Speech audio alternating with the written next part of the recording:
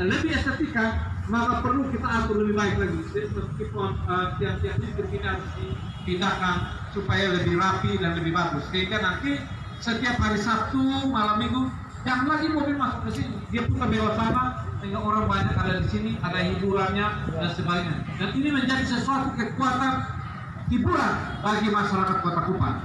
Karena apa? Hiburan ini salah satu hal yang penting ya. Walaupun tadi Pak Dikson bilang walaupun hiburan banyak tapi perut kosong itu juga menjadi catatan buat kita. Saya berharap nanti kita terus juga mengembangkan ekonomi kita di Kota Kupang. Bukan saja membangun infrastruktur, tapi ekonomi masyarakat juga harus kita kembangkan sungguh-sungguh. Supaya apa? Supaya perut itu jangan sampai kosong, ya. Anak-anak kita juga harus punya kreasi yang luar biasa. Anak-anak kita juga harus punya lembaga tempat pekerjaan yang baik, punya usaha-usaha kecil, usaha-usaha startup startup baru.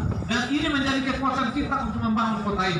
Dan saya berharap Bapak Mama semua bahwa kita semua bersatu membangun kota ini lebih baik lagi, menjadi satu kekuatan kebanggaan kita sebagai anak Nusa Tenggara Timur, sebagai orang yang bertanggung jawab terhadap provinsi Nusa Tenggara Timur sebagai kota Kupang.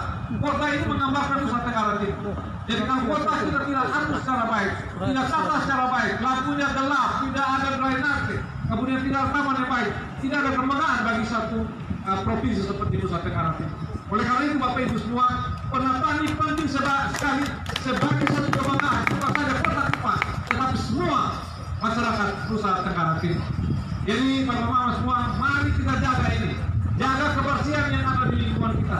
Jaga yang apa yang sudah kita bangun ini menjadi satu kekuatan buat kita semua.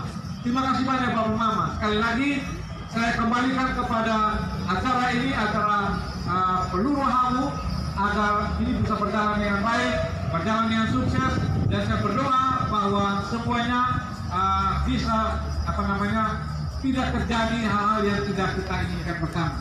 Dan memang uh, kalau dari lihat dari lokasi tempatnya, saya pikir memang perlu satu satu satu matras lagi barangkali tapi kalau memang panitia sudah bilang ini yang sudah cukup ya panitia yang lebih tahu daripada kami kami ini saya kira itu saja bapak ibu semua.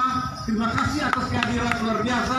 Dan ingat sampaikan kepada saudara-saudara kita di kelurahan kelurahan bahwa di sini ada pertandingan kelurahan yang akan menjadi hiburan luar biasa. Bukan saja bagi orang Sabun semua masyarakat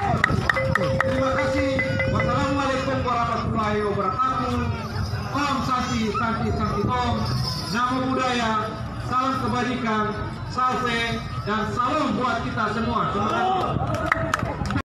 Lebih estetika maka perlu kita atur lebih baik lagi. Meskipun uh, tiap-tiap ini harus dipindahkan supaya lebih rapi dan lebih bagus. Sehingga nanti setiap hari Sabtu malam Minggu jangan lagi mobil masuk ke sini. Dia putar bawah sana sehingga orang banyak ada di sini ada hiburannya dan sebagainya. Dan ini menjadi sesuatu kekuatan hiburan bagi masyarakat Kota Kupang karena apa hiburan ini salah satu hal yang penting ya walaupun tadi Pak Dikson bilang walaupun hiburan banyak tapi perut kosong itu juga menjadi catatan buat kita.